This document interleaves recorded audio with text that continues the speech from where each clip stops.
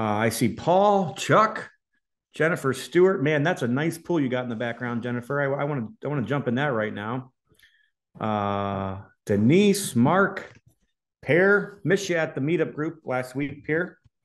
Uh, Alicia, Ken, Ken's on here from Gary, Indiana, or somewhere around here. Christy, Selena, welcome, welcome, John. Happy to have you guys this morning on the Tuesday morning.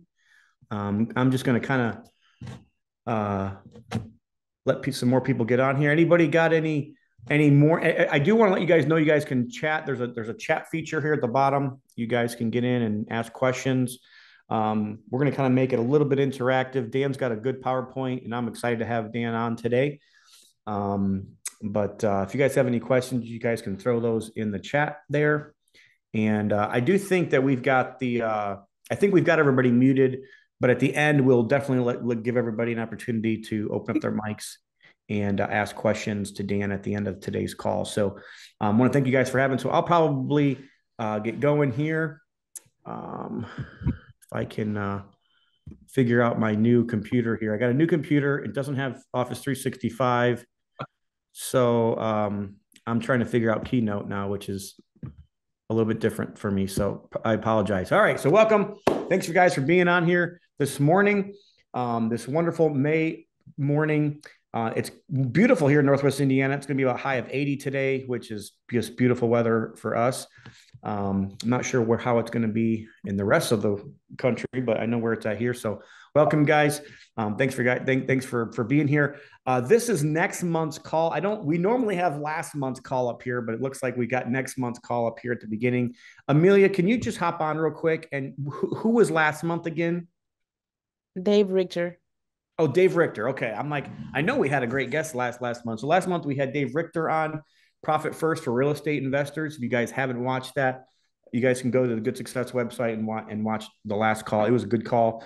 Um, and to me, I think I think knowing your numbers is probably the key to most real estate investors um, becoming actual profitable in their real estate business. Um, I think you can do all the other things. You can learn everything else.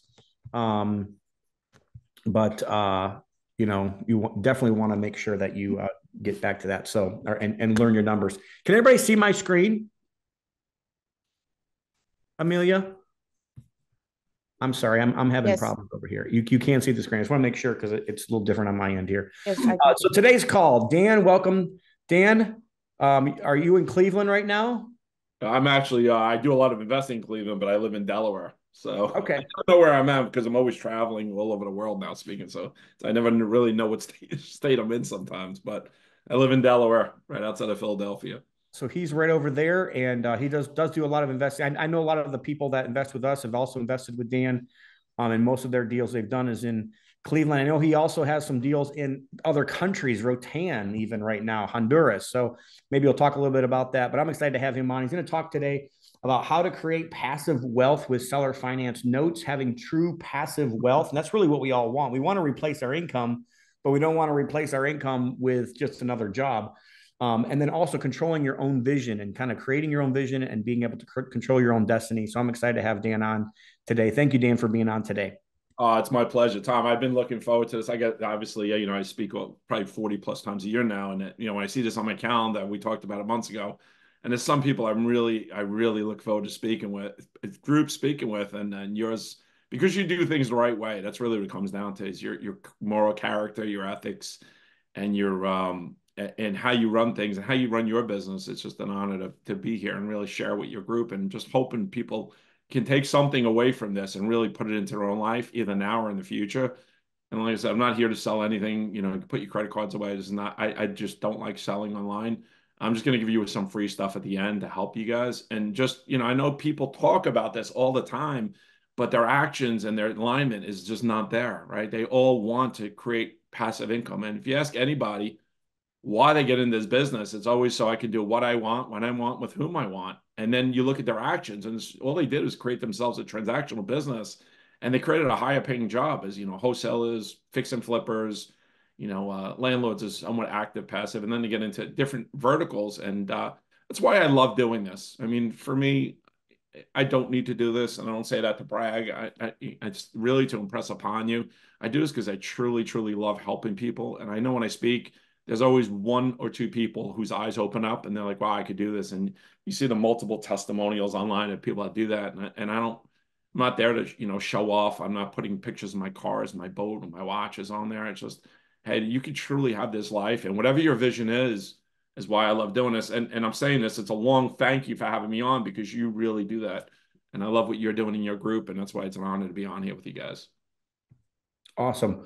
Um, and and, I, and, one of the things that attracted me to Dan is I know he's also a giver, and that's one of the things that good success here. You know, one of my statements is work to have to give, be a conduit, not a bucket. Like we're not here just for ourselves. Yes, we want to have a good life, and there's nothing wrong with having a good life. Um, but at the end of the day, you know, it's not just about like how we gave ourselves a good life. It's like what did we do for others and what did we invest into others. That's one of the things that attracted me to Dan. I appreciate you being on um, Dan. So thank you for that. Uh, so me, since last month, we've had a very, very eventful month. Um, me, I, I know we, we've been talking about this for a long time, but me and my wife um, were sponsors and we raised a bunch of money and helped a lot of these kids go to Ecuador.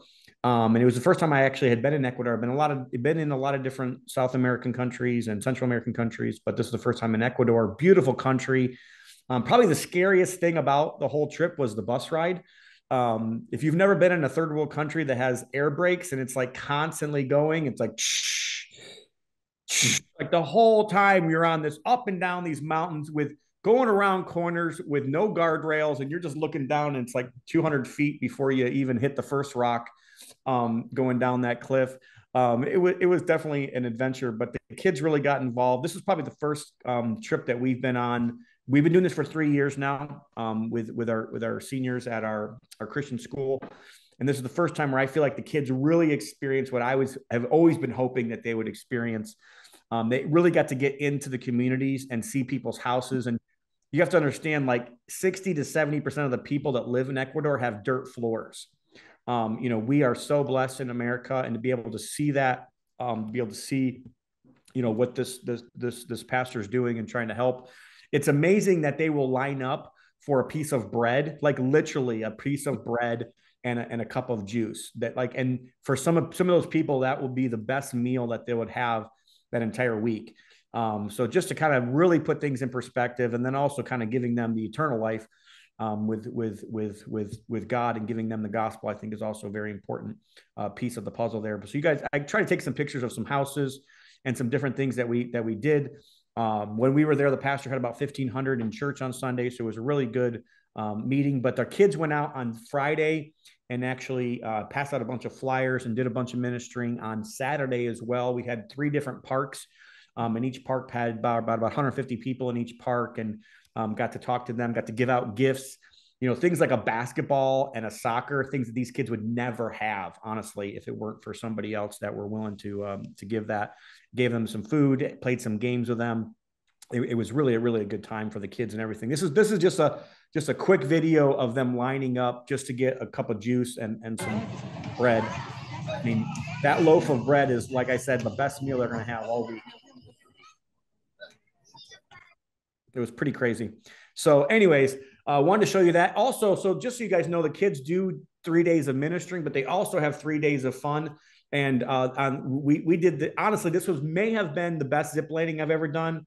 Um, we've I've been zip lining all over the world, and we went over a 400 foot ravine 10 times back and forth. And the last one, one of the guides was like, "Hey, you want me to take take your video and, and video you?" So he videoed this whole thing, this whole run uh, for us. It was pretty cool.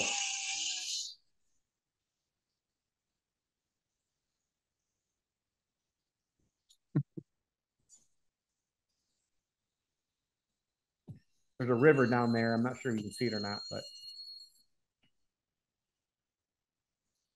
I'm trying to wave. I'm not sure you can see me waving, but.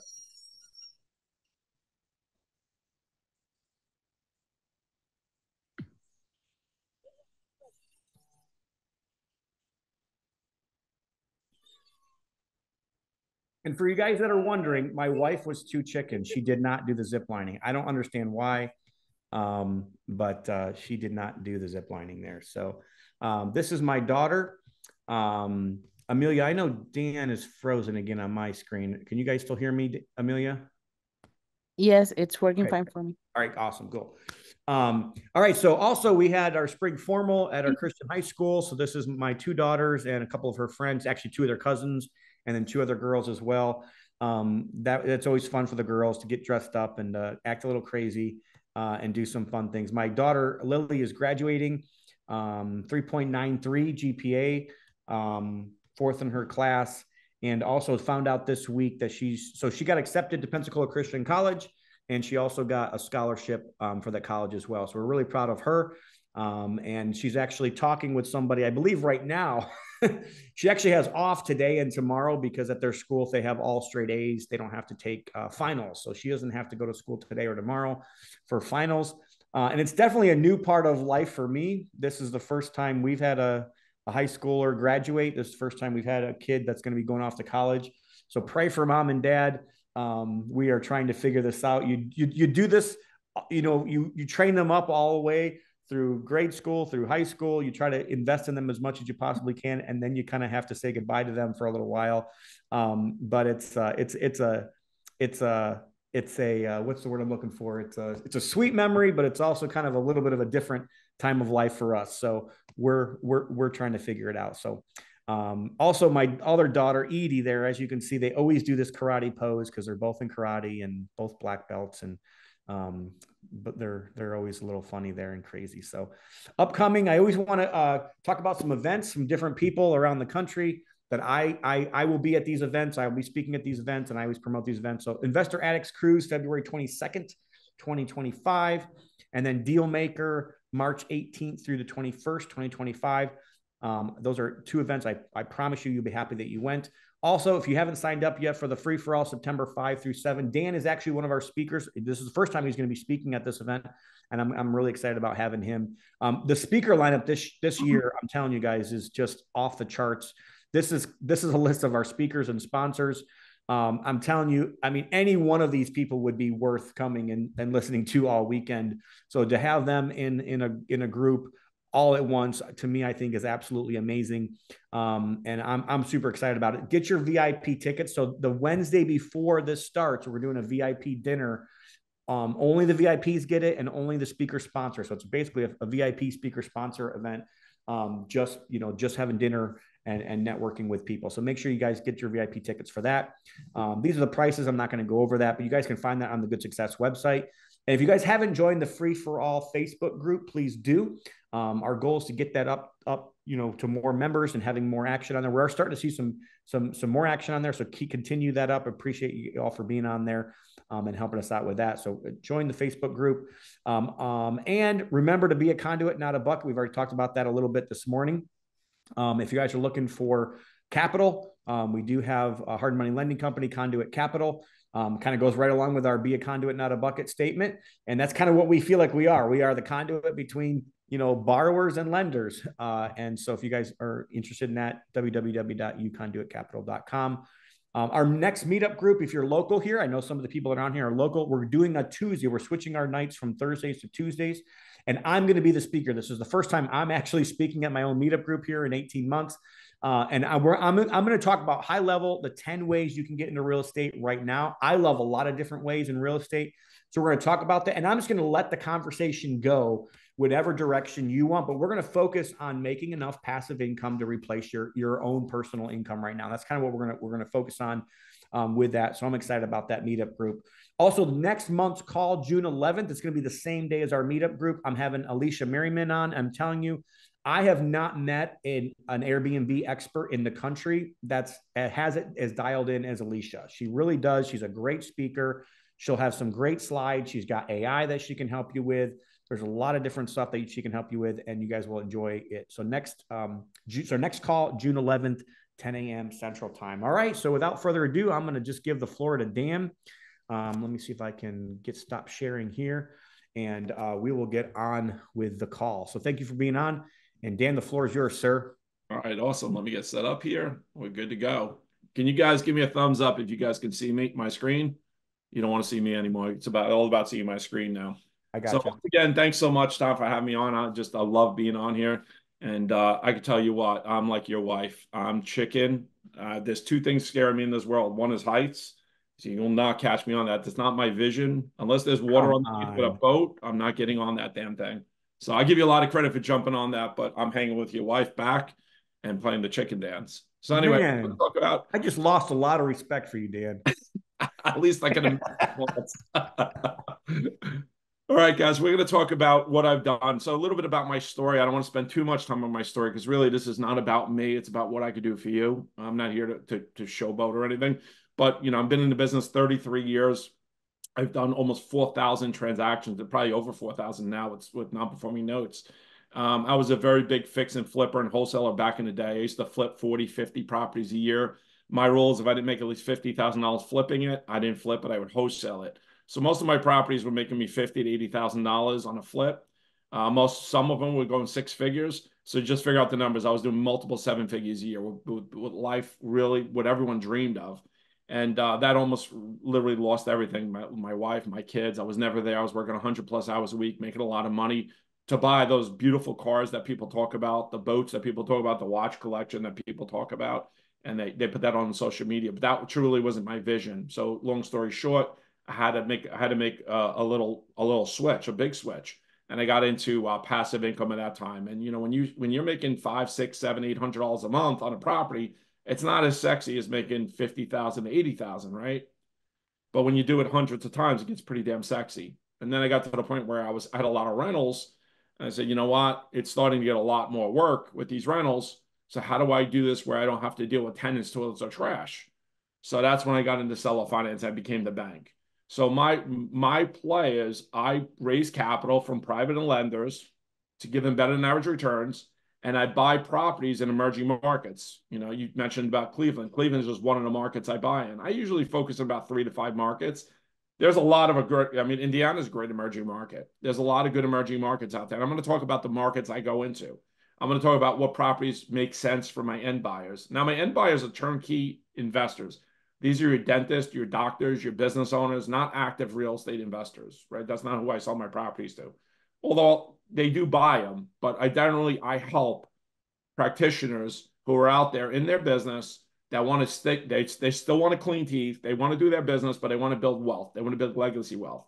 So I provide that for them. So think about all your wholesalers out there that are actually selling properties to make five, ten, twenty thousand dollars wholesale fee. I beat a wholesaler every single day of the week never fails. Every time somebody comes to my events and sees what I do, they totally change their model because I bring in more capital. My seller finance notes are like ATM machines. I could print capital anytime I want on them. And imagine paying your private lenders back in no more than 12 to 18 months and staying in a deal for 30 years, collecting 600 to $2,000 a month for each note. And guys, I do that and I own over 400 seller finance notes. So it does pretty bit damn well for me. It allows me to do what I want and when people talk about truly doing what you want, what your vision is, that's how you do what you want. You back it out. You have to back it out and stop, stop chasing the shiny object syndrome. But I'm going to get into here a little bit more of, of what I do because I could keep talking about this. So, what kind of properties do I love? I love those, and I'm I'm not going to read each slide. I'm going to kind of over. I'm going to go over them quickly, so I don't have to read them. And when I'm live, if you show up to this event live, I'm going to do a whiteboard presentation with you. Sure, Tom will have a whiteboard and markers and you're going to see that napkin presentation, right? You might have somebody posted yesterday. That's literally how I do my deal, guys. You could all talk about the technology, all talk about the minutiae, your CRMs, all these systems you have. This is literally a napkin. I was sitting at a restaurant with an investor. I pulled the napkin. I wrote the deal. Guys, you don't need all this crazy stuff that people talk about to do this business, right? So properties I love. I love rental properties in emerging markets. I like to be in the B2C class area, your blue to white collar areas. Okay. I love um I I have to work with teams of and when I put teams together, so let's say you're in a market, the things I do is I look for quality realtors, quality contractors, property managers, attorneys, short sale negotiators, title companies. Those are integral part of your team. That's why I stay in about three to five markets max. I don't want to build teams across the United States. I want to stay, I want to build, go deep with my team. Okay. And then I talk about my five exit strategies that I do with seller finance notes. I'm going to go through those with you here. And then how do we find deals? Okay. Now, obviously, I got to do a, uh, a, disclaimer because, like any other free training, most people are going to get nothing out of it because they're not going to take action. Okay. So my results or my students' results are not are not typical because the average person who attends any free trainings gets zero results because they don't take action. just some pictures of some high level events we've done. Um, so who am I? I don't want to spend too much time on this because once again, it's not about me. It's about what I can do for you. But I have been at this. I can't even believe I'm saying this since 1990, 34 years now. Um, I've raised over 40 million. I'm sorry, 30 million dollars, close to 40 million now, and I've used it in over 400 million dollars of of private money. Guys, when I raise private money, I'm raising at six to eight percent interest only for three to five years. Now, what could you do if you raise money at six to eight percent interest only, no points for three to five years? Can you do some damage? You should be lighting up that hit that chat box. Like, what would you do with it? Tell me the type of deals you. I'm gonna look later. What kind of deals would you do with that? Because guys, raising private money is probably the easiest thing in my business right now. All right, because of the deals I do and how I show those deals. I don't ever ask for money. People ask me, "How do I get involved in your deals?" Okay, right now I own over 600 assets. Two thirds of them, 431 seller finance notes. The rest are rental properties. Okay, all single families, by the way. I do not own any multifamilies. I sold all my multis in 2019. My last 800 doors. I do not buy multis.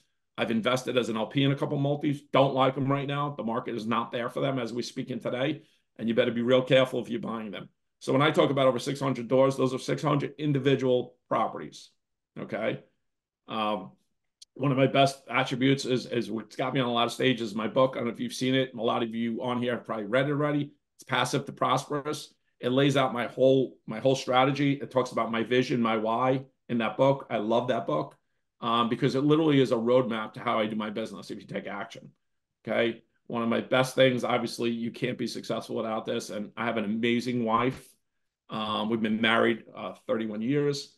I have three awesome children. I have two grandsons, and that's my life. That's my vision, right? I want to be there to hang out with my ki- my grandkids, my kids, go on trips as I want to. I just got to do a Kentucky Derby 150th anniversary trip uh, and, and just have the best time of my life. So I love doing this, but my true vision in the summer, if you hit me up to speak at an event, I'm just going to tell you, hit me up that day and I'll tell you, ask me how the weather is. If the weather's bad, I'll speak. If not, you'll find me on the sand, okay, or in the boat, okay. And now uh, we talked about and how Tom and I align.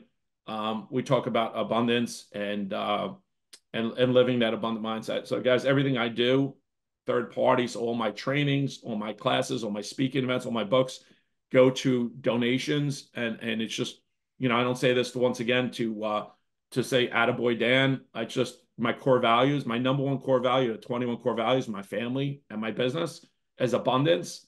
So I that's truly what has gotten me pure happiness. So I was coined the most the most uh, depressed millionaire you'd ever meet because I was making all that money, but I truly didn't hit my vision. So I implore you to find something in your life with your family. And for me, it's abundance, being part of groups and going very deep with those groups. And I think Tom and I are part of some some of the same stuff we do. Um, so th- that's really why I do what I do, right? People like, why don't you just stop? I had a conversation. I was at the family office event speaking with billionaires this week, and they're like, why don't you just stop doing what you do? Because I would be selfish to stop doing what I do. If I could do it, make enough money to help organizations like Tom's doing, then I'm going to keep doing it. Right. So figure out your vision and keep doing it. Just some more events, some places where I operate in. Obviously, because I live in Delaware, I'm here. I do Cleveland, I do Dayton. I'm big in Birmingham and Huntsville, Alabama, and Charlotte, North Carolina. Now, I'm not in all these areas at all times. I'm in them as long as I could be in them and the numbers work. And I'm going to talk about the numbers, guys. Is that cool? If I could give you actual numbers, you cool with that? I'm going to give you actual numbers. That's what I want to get into. Okay, so here's properties I love, guys. This is what works. The reason I love these is because it's my end game. And when I say the end game, when I'm selling a property to a physical therapist, a dentist, a doctor, an insurance broker, a business owner, they don't want to get those calls in those class D neighborhoods that there's drug deals going on, there's bullet holes in their doors, uh, people aren't paying rent. They don't want that. Okay, so once again, you got to figure out what your end game is. Now, I'm not saying buying class D neighborhoods aren't good. They're a different business model. It's not the model I choose. I've been there. It doesn't work for me. So I'm going to tell you exactly what I do. What does Dan do in his business to literally live the life that most people talk about? And, and this is what works for me. I've tried so much. This is what works for me. So I do a little bit more than most people, and they tell me I'm dumb. And I'm going to tell you exactly how I rehab my properties, which most people are going to tell me I'm an idiot for. I'm going to tell you where I buy my properties. Most people tell me I'm stupid because I could buy them for $20,000 instead of $80,000, $90,000. But I'm going to give you the roadmap. That's what this is about. You could leave this today because Tom put this on. You could literally leave this today, put into action what I'm teaching you, and you could start doing this today without spending a dollar with me. Is that fair? Are we cool with that? I want to mm-hmm. make it worth you being on this, right? I, I don't like these these webinars that people are on there all of a sudden. Oh, if you really want to learn, go spend. You know, we have trainings, but I'm not selling trainings here. I'm going to give you exactly what you need to do. Okay, so once again, Class B to C plus neighborhoods. Those are your blue to white collar neighborhoods. Those are your contractors, your landscapers, your uh, lo- lower office workers, your Amazon workers. Um, they're they're not your executives. They're not your drug dealers. Does that make sense? Your A class areas are your executives, your CEOs, your high end income earners, and your class D is your drug dealers and your crime. Okay, so we're in the B to C plus, blue to white collar. Okay, I, now this is not next next a bullet is not a guarantee that it has to be this, but I love what I love is three bedroom, one plus bath, so one to two baths. Okay, with an ARV and no less than 100,000 to 250,000. Now I remember I just had to redo my slides because it used to be 50,000 to, to uh, 80,000. The numbers change, right? The markets go up. So it's a good thing. Okay. because we want to be able to sell a finance these notes out to investors. Okay. My goal is brick ranches, if possible, but I will buy other type of properties. I will buy townhouses. I will buy condos. I will buy a duplex. But my ultimate goal is brick ranches, right? Maintenance free as much as possible. I want to be at that. this is an important thing for me. I need to be in that 1% rent to value ratio. What that means is property's worth $100,000, the rent is about a thousand. Property's worth 120,000, the rent's about 1200. Property's 150,000, rent's about 1500. Give or take, it could be it could be off a couple hundred. But you can't have a $500,000 property where the rent is $2,000. It will never work. It those are the properties I keep in my rental portfolio as a legacy property but it will never work for seller financing to investors. And I don't seller finance to owner occupants. Let's get that straight. I don't own owner owner finance to owner occupants.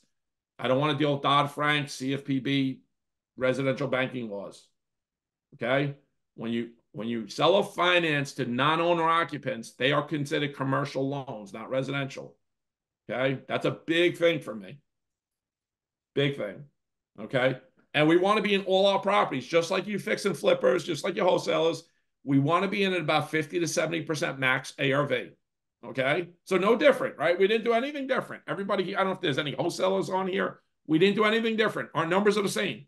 The difference is we're not wholesaling these deals off to make 10, 20, 30, 40,000 dollars.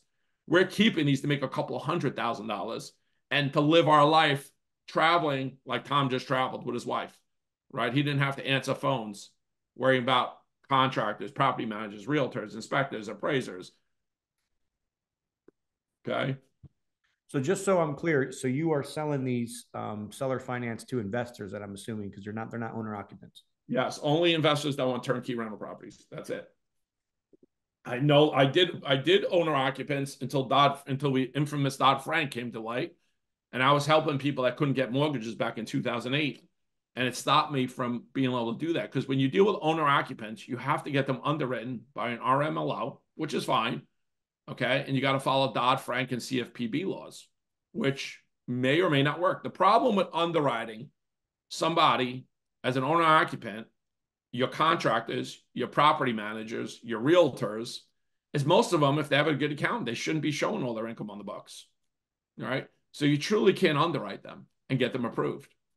So that's why that kind of, you know, when in this business, when things come up, when government overregulates and things come up, like they're doing now to wholesalers, you have to be able to divert and keep your business going. You can't shut down.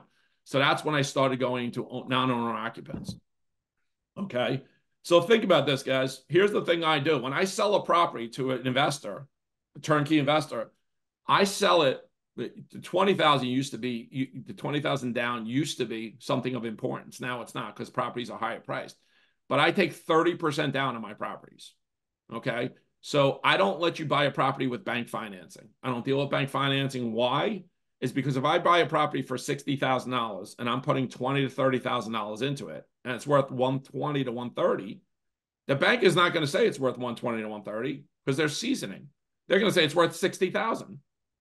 So I don't deal with banks. If you want to buy my properties, it's cash or seller financing. So when I sell a finance a property, I sell for 15% more than I sell for cash. So if it's a hundred thousand dollar property, it's hundred thousand dollars cash or a hundred fifteen thousand seller financing. Now I take 30% down on every one of my properties. So on 115, let, let's just say it's a hundred thousand dollars self finance. I want your numbers easy. I don't want to start pulling out calculators here. I'm taking thirty thousand dollars down, correct? Mm-hmm. Thumbs up. Now, if you thousand dollars and I sell your property for cash for hundred thousand dollars, how many properties can you buy with hundred thousand dollars? One. One, yeah. But now you're buying with thirty percent down. Now, how many properties are you buying? Three. Right. So I just created ultimately three hundred thousand dollars in ultimate net worth for you over the next. Let's say how many. Let's let's say property doesn't go up in value. You, you will have three hundred thousand dollars in net worth, and I just created three seller finance notes for myself. So it's a win-win, right? And now I have $70,000 in notes. So I have $210,000 in notes that I'm going to show you multiple times how I have exit strategies. So that's why I work with turnkey investors. Now I'm going to talk about before COVID, because after COVID, everything went through the roof. We sold way more properties. But before COVID in 2019, I sold 182 properties. I sold those to 18 investors. That means I average about 10 properties per investor. Now, if I did 182 properties to owner occupants, that's 182 people I got to deal with and realtors and mortgage companies and inspectors. So my investors come back to me over and over and over again to buy more properties because they want to build that legacy wealth. A lot of it, a lot of dentists I get. And they're talking about they want to sell their practice in 10, 15 years and they they just want to consult and they want to have all these properties for the family. Okay. So I'm able to help with true legacy wealth. I'm truly helping other people while I'm making money in doing so. And that's what I call a win-win, right? That's what I call a win-win. So why would I wholesale these things off? Okay. And I talked a little bit about the next two bullet points, so I'm not going to go through that. So how do we find emerging markets? Okay. I teach this. How do I find emerging markets? I like markets with at least 10,000 people in your local market, right? So wherever you are in Indiana, if it's 10,000 people in your local market, but you're close enough to a big city within 45 minutes that there's 100,000 people. Okay, you could just go to Google and do a population search. I don't want to be in the rural areas where there's very little people and it's hard to get people to rent my properties. I want, I want like excitement. When my properties go for rent, there's a waiting list, and it happens every time. Okay. I'm also want to have tenants that can afford my rent, right? So you're not in the major metropolitan areas like New York, Philadelphia, California, right? Uh, Colorado. You're not in those areas where rents are so expensive. Florida now. I'm in areas where think about two people that work at Amazon. Can they afford my rent? All right. Because they got to make three times my rent. So your Amazon workers, that's a great market. Anytime there's an Amazon plant, you know, you're probably in a decent market as long as your rent could support it. Okay. I want to check economic. This is important. See, when I go to a new market, I used to take people to new markets and build them out. That was part of my training. If I go to a new market, one of the meetings I do is with the EDC, Economic Development Corp, and the Chamber of Commerce. You can go online right now in any town you're in and look up the Economic Development Corp and the Chamber of Commerce, see what businesses are there, what's new coming, what infrastructure is being put in place. So I'm giving you a way right now that you can find any market in the United States and do your research and go to any private lender and say, this is why you're you're investing in that market. Okay. I also want to check real estate taxes. There's a lot of markets real estate taxes are excessive. Ultimately, I want to be one to two percent of the value of the property or under in real estate taxes. So I'm not doing stuff in New Jersey, California, New York, Pennsylvania right now. Any of these high taxes, I'm not doing. I'm also not going to markets that are hard to evict or hard to foreclose. I don't hmm. want to get political, but hence I stay in the red markets. I'm not going to get political, but I'm going to stay in the red markets. I'm not dealing with anything with rent control. I'm not letting the government control how much I could charge for rent. I'm staying out of there's no reason to stay in those markets, right? I always people like, but why? I said it doesn't matter. Don't try to fit a square peg in a round hole. Do what works and don't fight the system. There's so much out there you could do as long as you can get out of your own way. Now, where I live is oh, it's expensive. So that's why I have to be in other markets. But like Tom is in Indiana, it's a great market. I mean, you're close to so much out there. It's a great market. A great, you could build a whole business in that market. You don't have to go anywhere else. Okay. How do I find deals? Guys, people want to know how I find my deals, how I find my non performing notes that I buy in bulk, how I find my REOs in bulk. While all you guys are out there sending letters, doing text messages, doing ringless voicemail, doing everything you could do out there to find deals. I literally every single day I have deals hitting my inbox by the hundreds, and I just pick and choose what I want. This is exactly how I do it. I give this when I do my training class, my inner circle training class, or my two day training class, or my online training. I open up my laptop live and show people me doing this live on the spot. I do this live. This is the steps one through six. Okay. I'm breaking down for you on LinkedIn how you go and you find these people and you reach out to them. Now you got to build your relationship with them. I can't do that for you. But I'm telling you, people ask me all the time, how do I find my deals? This is how you find your deals. And think about it, guys. I own over 600 assets. I'm an asset manager. Now, I'm not really selling. I'll carve out seconds or first once in a while and sell them off to pay back my private lender. But I don't really go out and sell. But you should be reaching out to all the asset managers and staying consistent with them. Now, I'm not going to go step by step. I'm giving it to you here how to do it. but this is how I find my deals. This is how I have my asset managers. I do not send out letters. I do not do anything else but this to find asset managers. And they bring me deals. They bring me non performing notes, REOs, tax liens. They bring me whatever I want by the hundreds a week. I just pick and choose if it fits. Not everything's going to fit, but when I'm ready, I get them. Now I buy deals from, I will buy from wholesalers. I will buy from realtors. I will buy direct from sellers. So that, don't just stop doing all that. But this is just one extra avenue you need to put in place. Okay. Now, this is important, very important, how we rehab a property. And I see Tom does a great rehab as well. Um, I over improve my rentals. Okay. I make them maintenance free. Okay, I call them, I make them hard, I make them maintenance free. This is where people tell me I was an idiot, but I'll tell you my numbers here why I do this. Mm-hmm. Okay, and I'll give you some rundowns. You can take a screenshot if you wanted to do this. Okay, some of the rules I have is roofs 10 years old and older. I don't care. I change them. Okay, I change them.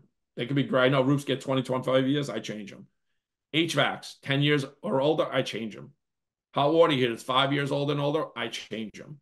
Okay, I always rip out the fixtures, the toilet bowls, the sinks, the faucets, and I replace them always. As soon as I walk in, I don't care how old they are, they, they're gone.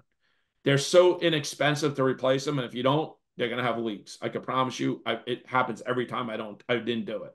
So for $180, I have a toilet bowl replaced. I have a new vanity and sink and faucet in there for five or six hundred dollars. Beautiful.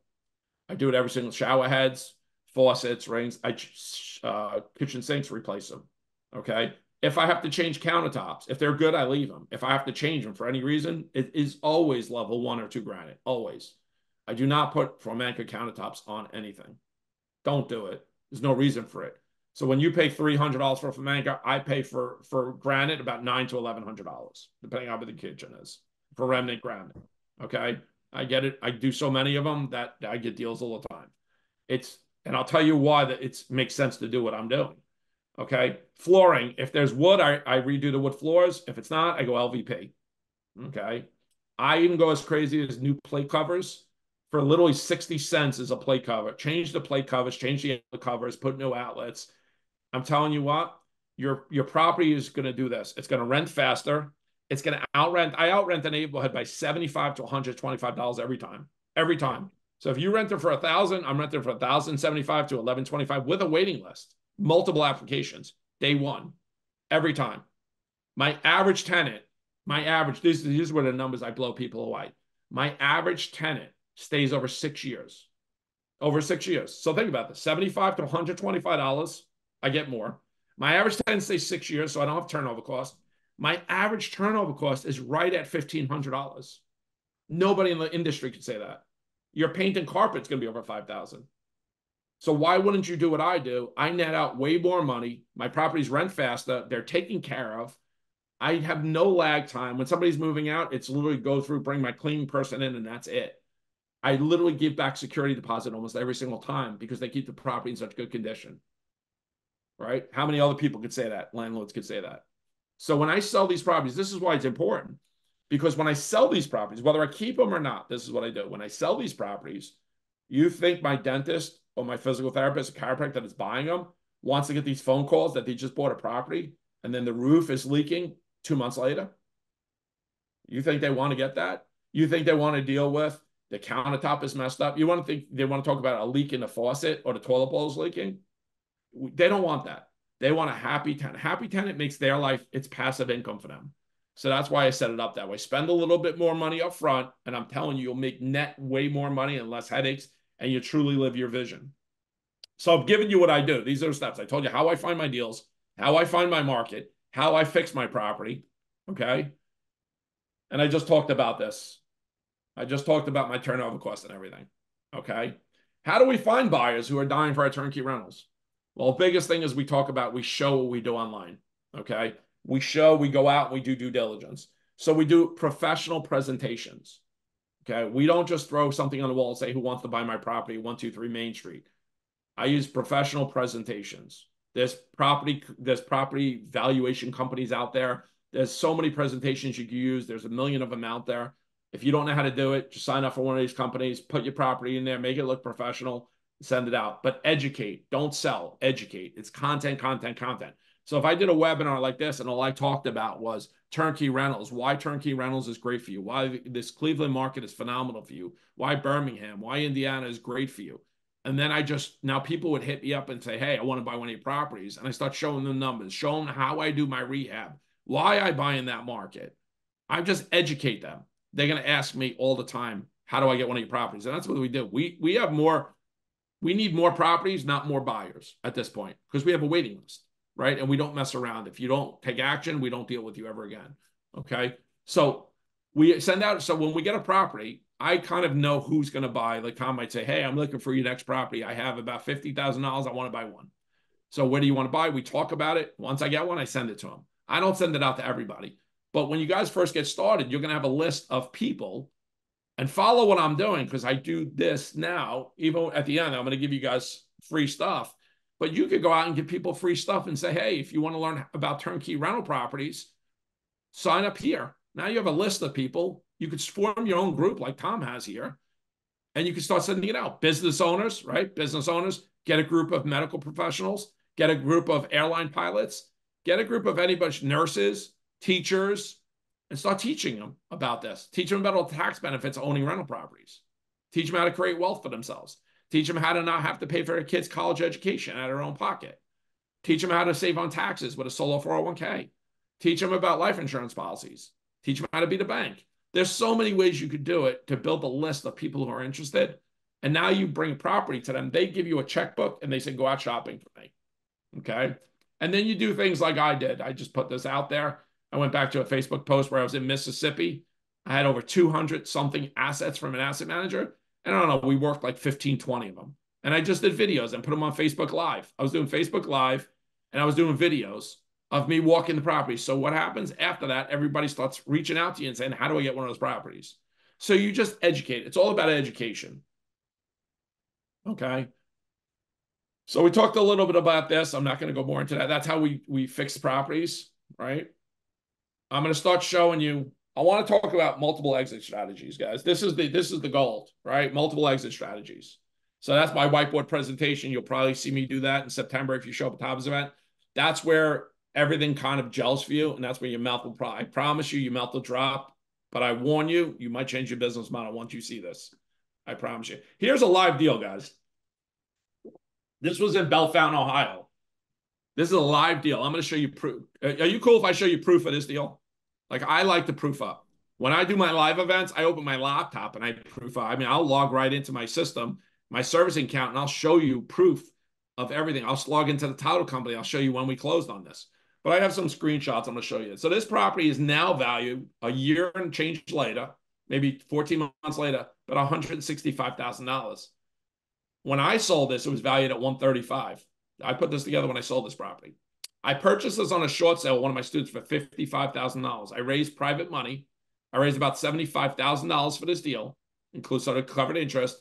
We did $13, $17,309 in rehab and soft cost.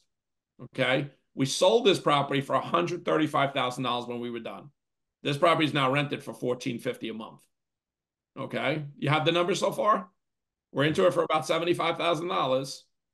I sell finance this property for 30 years with 30% down. Okay. We sold it to him for a discount. This was one of my students. We sold it for a discount. Here is the purchase. You can look it up if you want. Take the address. I always believe trust and verify everything I tell you. I could be lying to you. Trust and verify me. That's why I have no problem putting my. I always say make make your make your instructors. A, I don't like the word guru. Someone nickname me, you know, you nickname me nickname me the guru, not the guru, because uh, I do the work. All right, but here, five sixteen Hamilton Street. Okay, that's who we bought it from. I didn't even black that out. We bought it in 2022. We sold it last year. I think two. I, I got to look when we sold it. Um, we bought it for fifty five thousand dollars. Okay. There's our closing statement when we sold it. We sold it for $135,000. Right. At the end of the year. So six months later, six months later, we sold it. $135,000. We have a $94,500 note. Okay. So with the money we got down, we were able to carve out a first and a second mortgage, sell off the second mortgage, pay my private lender back, and we stay in this deal. So check this out. There's the there's the contract that we sold it for $135,000. And here's my servicing agreement, the same property. So now I collect $678 a month. My private lender is paid back. I collect $678 a month for the next 30 years. I don't have to deal with tenants, toilets, or trash. How many notes do you need at $678 a month to live the life you want to live? Is it five? Is it 10? Is it 100? What is it? What is your number? Drop in the chat box. I'm going to look later. What is your number? Not to live the. Listen, I'm, I don't want you to compare yourself to Dan Zitofsky. I'm already done, right? Because people like, I need to make what you make. No, no, no. What do you need to make to live that next set? Whether it's I want to leave my nine to five job. I want to retire my spouse. I want to buy my mom a house. I want to have enough money to so I don't have to ever go to work if I don't want to again. What is that number? Don't throw at me 30, 40, 50,000 dollars. And I'll tell you why I know, because I know my number is way less than that. Now, and I'll tell you what, because once you hit that number, it's like a hockey stick. It just trajects really high. Because now you forget about everything else, you can focus on this. So this is one of my lowest seller finance notes. Some of them are as high as $3,200 a month. So what is the number you need to make? And then let's back it out by figuring out your market, figuring out the type of property, how much money you need, right? Tom just said there's a hard money lender here. How much money do you need to get there? Back out the numbers. And then when you're doing deals, instead of wholesaling them, start keeping them, start closing on them. So I help a lot of my students that I work with close on deals. I'm like, stop wholesaling. Let's close on them together. That was this deal. That's why I show it to you. We do probably two to three deals now a month. This was that deal with a student. I was like, let's stop host. He was a wholesaler. Let's stop wholesaling. Let's keep it. Okay. So you see that deal right there. That's so most people are saying somewhere between 10 and 20 deals. That's awesome. That's a realistic number. Now, with that 10, 20 deals, how many deal Tom, how many deals a year? I don't know. You're not wholesaling. How many deals a year are wholesaling do, wholesalers doing right now? I don't know. I mean, I think we we talk to guys that sell anywhere from five to 50. I know. I, I deal with people that are doing that a month. Some big wholesalers that are doing that a month. And I was like, just carve out. If you only need to do 10 a year. Now I'm telling you, here's the other thing. I didn't show, I didn't show this, right? On a whiteboard at your event, I'm going to show this. At each deal, I can carve out 10, $20,000 cash as well and still stay in the deal. So instead of getting $678 here a month, maybe I get $500 a month and I carve 20 grand in my pocket for that vacation to Ecuador. That's what I show people. Now I have a note for 90, $93,000 now remember, that note is an ATM machine. I can do five things with that note. I'm going to talk about those five things, right? Once you own the note, you own the gold, guys. Understand that. It's not a property, it's a note. It's the most powerful thing in the banking industry is a note. The most powerful thing is owning a seller finance note, the way I do it. Now, I also, besides five exit strategies, I call it the power of five, and I'm going to get into that legal docs. But let's talk about the exit strategies first. Okay, strategy number one, really easy.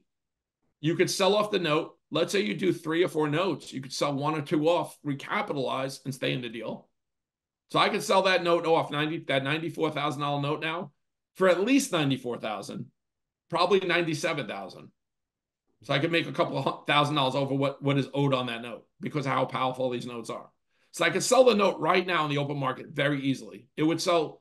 How many people want to passively make What's my interest rate on this one?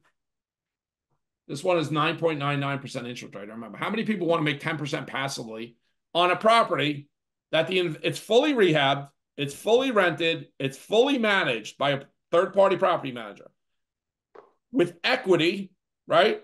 It's equity, property's worth 165, and the investor put 30% down. Do you think they're going to lose this house for a 600 something dollar mortgage payment? Well, plus it's somebody that can really afford the payment. It's you're not seller financing it to the person in the in the house. That's Right. just like a renter, Exactly. And if the tenant stops paying, you think this person right? is going to lose their 30% down, which is $40,000 over a $678 payment. That might take three months to, to get in a payment again Right. once you evict them. So this is such a powerful note. And then I talk about the five legal docs that I put in place for them. But let's talk about the strategies here. Okay, strategy one, sell the note off in full. Okay. I include in strategy one, it's really strategy two. I do this a lot. I carve out, which I show here, if you can see my napkin presentation. I carve out a first and a second. I'll sell the second or the first, and I'll stay in the first or second. So when I carve it out and I sell it, that'll allow me to pay my private lender all their money back, and I stay in another deal. And not only do I pay the lender back, if I sell it to somebody who has wants seven percent on their money, six percent, eight percent, and I'm charging eleven percent on a second, I stay in the deal for three percent. So not only do they get the money back to pay my private lender in full, they're out of the deal. Goodbye. Now I get three percent on one mortgage, and I get the whole thing on the other mortgage for thirty years. How cool is that? So that's selling the first or second and staying in the other one. And I'll show that at your event. I'll be able to show that on a whiteboard. And in fact, you can let people know, and I do this at every event. Anyone that has a deal at the event, bring it to, to me and challenge me on the whiteboard. I don't even know what they're going to bring me. And I'll see if it works. And I'll tell you right there if it works or not. Okay. Strategy two I have here, but it's really three, is sell off payments. Now, 30, 30 years is 360 payments. Am I correct? Right? I'm not saying anything wrong. 30 year note is 360 payments Mhm. even though I have a 10 year balloon. So it's 360 payments. Selling a partial is exactly what it sounds like. I'm selling part of the loan. So I could sell five payments, 10 payments, 20 payments, 30 payments, 40, 50, 60, 70, 80, 90, it doesn't matter. So if somebody comes to you, how many, how many people know others that have money in IRAs, 401ks, Coverdell's, health savings accounts, life insurance policies? They might only have $30,000 cash. They don't really have enough for a deal. They come to you, they I want to get involved in this, but I only have $30,000. Or they pay their kids 12,000 plus a year tax free. They have three kids, that's $36,000. They don't really have enough to buy a deal. Or they don't want to. They're running their one's a teacher, one's a doctor. Well, they come to you and they say, I'm happy with better than average returns from a bank. Well, now they come to you and you offer them 7% on their money. So you take $36,000 and you figure out what 7% would be, and you sell them that many payments. So let's say you sell them 40 payments. What do you think happens on the 41st payment? Reverts back to you. Comes right back to you like a boomerang. That's what a partial is. Once again, remember, seller finance notes are ATM machines. They're cards. You can go anytime you want, pull money out of them. They're literally ATM cards anytime you want. So that's option three. Okay. Option four is what we call hypothecation. You can look that up. Same thing. Instead of selling partials, you can go to somebody that has forty, fifty thousand dollars, twenty thousand, ten thousand, doesn't matter. You want to go on a vacation to Ecuador? I need twenty thousand dollars. You want to go to Fiji Islands? I need ten thousand dollars. I have my my my pro all my properties in Roatan. You want to come visit Roatan? You want to bring twenty thousand dollars and live life out there? Well, go out and somebody with twenty thousand dollars borrow it against your note. Give them a promissory note against your note. If you don't pay them, they take the whole note. Of course, you're going to pay them if they give you twenty thousand dollars, and you're holding a note for ninety four thousand dollars on a property worth one hundred and sixty five thousand now. That's getting fourteen hundred dollars a month in rent. Why wouldn't you pay them? The best thing that happens is you don't pay somebody back. They want you not to pay them. They want to take that note from you. So that's called hypothecation. You could borrow against your note. You give them a promissory note. If you don't pay them, they get the collateral. You do a collateral assignment, they're covered. Right. So that's option four. Now, the most powerful option that I haven't taken advantage of until I'm probably going to be doing it here soon is I get leverage, right? Your local bank. You're not walking into Wells Fargo, Chase, or PNC. leverage. You take your notes that I'm talking about, you walk into the bank, you have a relationship, you sit down with the banking manager, your local community banks, your credit unions. You say, I want to get lines of credit against my note. They're going to say, What do you have? Obviously, they're going to make you a personal guarantee. Check this out, guys. I get four to 10 times leverage on my note at prime minus a half right now. Now, prime is high, but think about it. It's, it's like private lending, interest only. Okay. So think about it a $100,000 note. I happen to get 10 times leverage. That's a million dollars leverage on a $100,000 note. Now, I told you I have over 400, 431 to be exact, seller finance notes today. Now, imagine how many people are going out there and they get these deals and they're trying like crazy to raise money for a multifamily. I could literally just pledge my notes to the bank, do a collateral assignment. They will give me lines of credit on every one of them, and I can buy anything I want cash. Now, the rates are high today because prime is high today, but I have that option. Now, I haven't taken that option, but I'm approved for that option. So imagine what you could do if you get prime at four to 10 times leverage, prime minus a half, or even prime, even over prime, even 10, 11%, who cares? If it's interest only, like a line of credit, because you have these notes. Now, you can't do that. Nobody's going to give you that on a house. They're not going to give you four to 10 times leverage on a house. Why is it so important? Right? Life insurance policies, same thing. They're giving you leverage on those. They're giving you leverage on these notes. It's the most powerful thing in the industry. Okay, so those are my five exit strategies, right? I broke them up over three because they both were, you know, either selling them off is under strategy one, borrowing against them is under strategy two, and then strategy three is working with a bank. Does that make sense? Five strategies. Yep. And I'm going to talk about why they're so powerful and the power of, you know, power of fives. How do you raise money and stuff like that? So, and and how they're so powerful, I'll get into that. But how do we raise money? That's the important thing. Okay. We're raising money a couple different ways. We're educating people. We don't ever ask for money. So I'm working with people with self-directed IRAs. Okay. And you could be writing white papers on this like I do. You could be talking about it on social media. You could be having investor meetings like I teach in my Raising Private Money course, how to do investor meetings. Okay. And that's how I've raised in velocity over $400 million doing exactly this. Because I'm not talking about thesis, I'm talking about what I actually do today and how I raise money. Okay. So you talk about and educate people on self directed IRAs. Talk, understand solo 401ks. Those are great for business owners. I did talk about Chamber of Commerce, right? Those are all business owners. I do it live at my event. When I'm at an event, I go live. I talk, I pull up how many potential private lenders do you want to find? I pull up thousands live. Now you got to work them, but I live, I could pull up thousands. In fact, my team used to sell these to people for a dollar twenty-five a name. We don't do that anymore. Okay. Health savings accounts, probably the best investment vehicle you could work because it's tax free in, tax free out. The only one, tax free in, tax free out. So learn about them so you can educate people on those, especially business owners. If you educate business owners how to put a hundred grand a year tax free into an account, what do you think they're going to do? They're going to want to invest it with you. They great have the money in there, Tom. But what do I do with it now? Well, mm-hmm. what do you know? I have this deal I could do. I could put it to work for you. You could become the bank, get passive income. Yep. Okay. Learn about Coverdell accounts. Okay. They work just like a 529 plan, except you can invest it in, in real estate, notes, um, things like that. Right. So you could put, you could pay your kids tax free. Then your kids could put money into a Roth IRA. They could put money into a Coverdell account. They'll never have to. That's how my kids' college has been paid for without without them having to pay for it. Okay turn two thousand dollars into a couple hundred thousand dollars doing real estate. Now, how many people here have done deals? Tom, how many deals have you done where you could have taken two thousand dollars and turned it into a hundred grand one of these properties? You could do that with a kid's Coverdell account. Mm-hmm. Okay. Learn about infinite banking.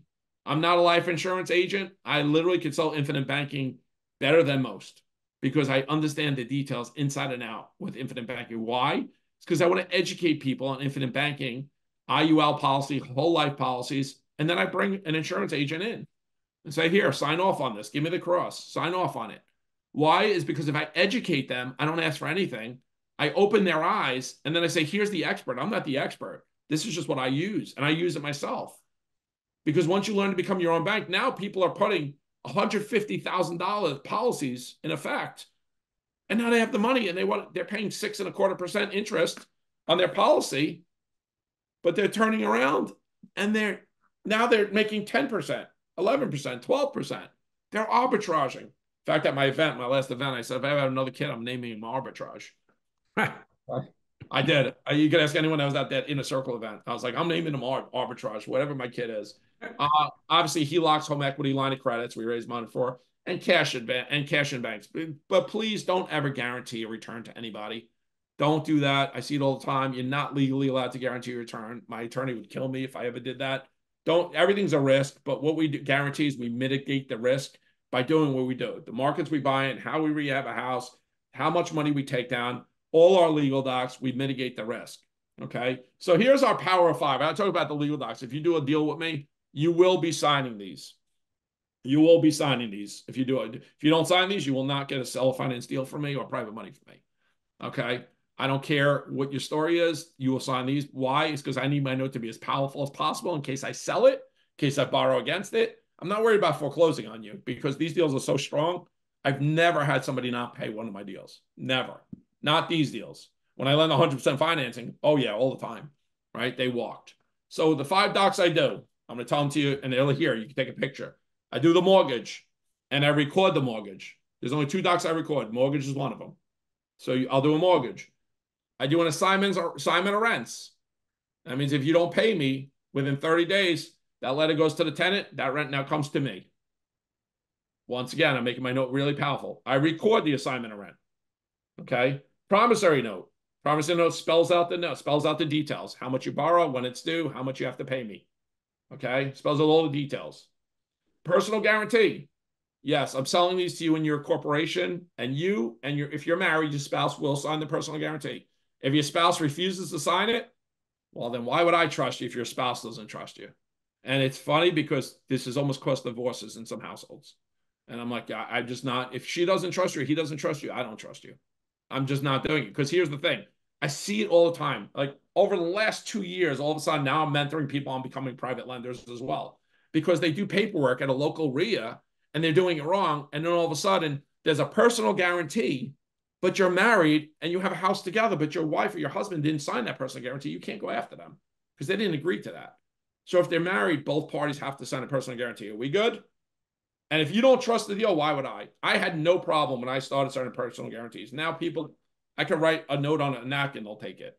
But I still want to protect them. I never take advantage of them. I always protect my private lenders. All right. God forbid something happens to me, I make sure they're covered in insurance. They're always protected. I know the deal is a good deal. I have no problem signing it. I've never not paid a dollar back in 34 years. So I have no problem. Confession of judgment. That means you're throwing your hands up in the air and saying, I confess to a judgment. Even though, you know, we go to court, you're not going to have a long, lengthy court battle for confession of judgment. So those are five docs. Okay. When you talk about your to your private lenders, hey, I'm going to protect you with these five docs. Plus, I do life insurance. I put their name as a, a, a on the life insurance policy, on a keynote policy. Um, I also do title insurance. I do homeowners insurance. I always protect my private lenders. That's the most important thing for me. Like people say, what keeps you up at night? That's what keeps me up at night. Make sure my private lenders are protected. God forbid something happens to me, they're paid back first, and then the money can be distributed to my to my legacy. Right. Okay. So why are these the most sought after properties we talked about? I think I went through this a lot. Why they're so sought after, but this is what this is why I back this out. And I implore you, whatever business you're in, back out make your assets the most sought after assets. Whether you're a wholesaler, make them the most sought after deals you could find. If you're a flipper, make the most sought after. Don't try to find, do a flip in an area where people aren't buying. But one is a great emerging markets, good job growth, get infrastructure, low crime, decent schools, low taxes, all of that stuff. High end rehabs. Make sure you. I, I cannot employ. That's one of the biggest things I ever did was change my rehabs many years ago. Okay, I rented I'm the most expensive landlord in a neighborhood, and I have a waiting list of people that want my property. That's saying something for you. Okay. I do the 10 10 10. That means that at least, I'm going to tell you that this makes the note the most powerful note in the industry. At least 10% down, minimum 10% down. I take 20 to 30%. Okay. So 10% down. Interest rate, 10%. My lowest is 9.99 to 11.99%. So I'm at that second 10. Okay. And then a 10 year balloon even though I want the loan for 30 years out there, I give them a 10 year balloon. At the 10 year mark, I'm just going to extend them. Okay. The reason you do that is because you want to, if you ever want to sell your note or borrow against your note or leverage on your note, they don't want 30 years out there. People have time value of money. I want 30 years. So I have to put a 10 year balloon on it. So I always do a 10, 30 year RAM with a 10 year balloon and a three year prepayment penalty. That's what I always do my loans. So a 10, you'll hear this, a 10, 10, 10 is the most powerful. That's what it means. I just wanted you to know what it means. Once again, I don't self manage these. When I sell finance them, I give them to a third party property management company. There's always some equity in the property. Borrow always puts skin in the game. I don't sell property 100% financing. I do the five power legal docs and I have it professionally serviced by a third party servicing company. And I use for almost all 98% of my deals are set up with FCI loan servicing. Okay. They make my life easy. And in fact, I don't even pay the servicing. My borrower pays it. It's in my as long as you put in your promissory note, the borrower pays the servicing fee. So it costs me absolutely nothing to have it professionally serviced, so I can make sure the borrower is taken care of. So all their mortgage interest statements are filed, so that their uh, end of year tax statements are filed, their amortization schedule is followed because that is not my skill set. Believe me, that's not my skill set doing it. Plus, I don't want to open my computer in the summer. And if you can't leave your business and close your computer and your phone for six months, you don't have a business, you have a job. And I created this where I don't have to do anything if I don't want to. Okay. Guys, I'm going to give you this and I'm going to go questions. I gave you something for free. Once again, here's my book. If you don't have my book, you can scan that. Get the book. I'm not really here to sell you stuff. That actually gets donated anyway, but it's a, a breakdown of our, my best selling book, Passion to Prosperity. And then I'm also going to give you uh, something for free. I wrote a white paper that I give out when I speak. If you come to Tom's event, you'll probably get this or another white paper. I put a lot of time into my white papers. I want to really break down everything I do in my business. So uh, you, you can get that. You can get those white papers and stuff like that. If you need my contact info, you know, people ask me all the time. You can just scan that. It'll come up with all my social media stuff. Once again, I'm not selling anything here. You cannot buy anything from me here. Um, I just want to get back and answer questions you guys have. Just, just please respect my time. Um, don't just pick up a phone and call me ever because I probably won't answer. Um, let's schedule a call with you. Um, I just don't. I just don't. But I have a lot of free stuff. And just so you know, on social media, I am the only person that answers my messages. You'll never get a virtual assistant answer my messages. I just don't believe in it. I want to be true to myself. I, I, I want to answer. I love on people. I want to truly help them. I'll never have a coin message back to you. I'll never have any of that. If you have a true question, uh, especially if you've gone through any training, you really put the time and effort uh, and investment in events or training, and you really have a question that I can help you with, I'm happy to help you with. So with that, um, any questions, guys? This has been a true honor to help you. I know I go through this fast. I teach this in two full days, so I try to put it all into a presentation. But I want the presentation to be more about how you can lead this. Close the computer right now and start taking action. Like you could walk out of here and say, okay, what emerging market? How do I find an emerging market? Okay, how do I put this together? What kind of properties would fit what Dan was saying? And that's truly what I want. But uh, and we have probably stuff on the chat box, Tom. But if anyone has any questions and you want to ask them, yeah, I want to take a quick look here. A couple people uh, said thanks for the presentation. Good presentation. You know, Ken wants to know how to get a uh, autographed copy of your book. I, I, mean, I think the best way is to come to the event here yeah, in bring September. The book yeah. In fact, anyone that comes to your event, I, you know, and Dawn knows my wife will probably be there too. She always tries to come with me. Um, she knows like when I'm done speaking, believe it or not, I'm the most extroverted introvert you'll meet. I speak sometimes, I've spoken in front of a crowd of 17,000 people at a corporate America event. I love it, but it's like I get bombarded afterwards and she knows get me out of it, get me like to a green room and relax. But I promise I love this. I love answering questions. I would implore everyone to bring the book to the event. I will sign and take pictures with every one of you. I promise. Um, and I will be I also, unless I have another speaking event I have to get to, I'm going to tell you this, and I, I, I believe in this, and it's kind of set me apart. I spend the whole time at the event. I don't just come in, yeah. fly in, speak, and fly out. Um, we do we do a lot of times fly private, but I don't fly in, fly out.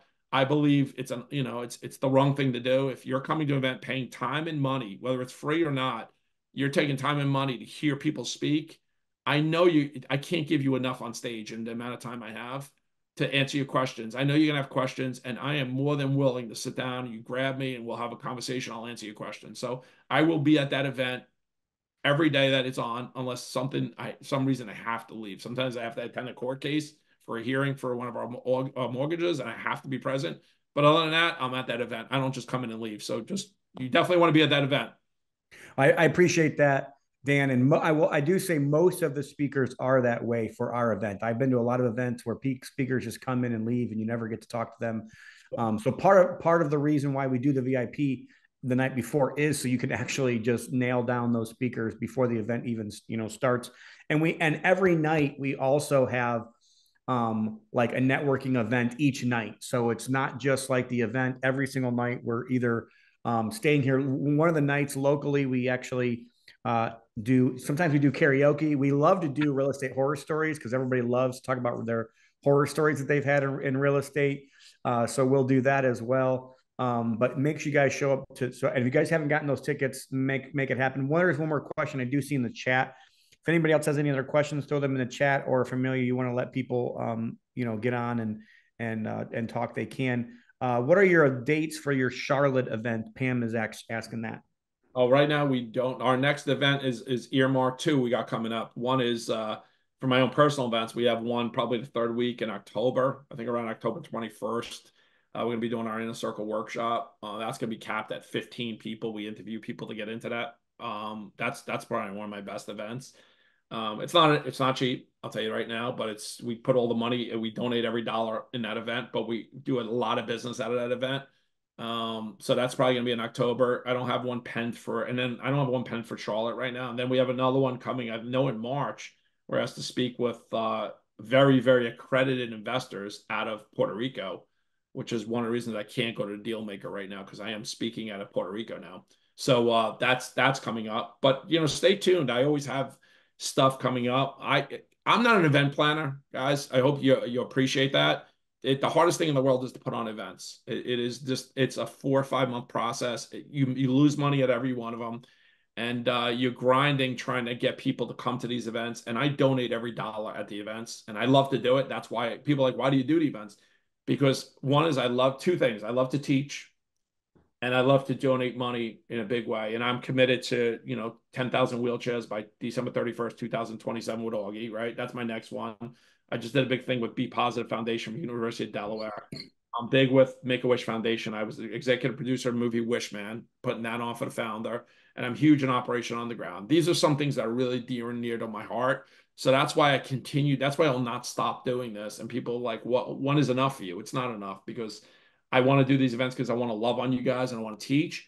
And then the people that come to the event are the ones that I love to do business with. I love to fund deals. I love to partner on deals um, because they invest time and money in themselves, right? And that's what I look for. To me, the events are like an interview process of who I want to work with.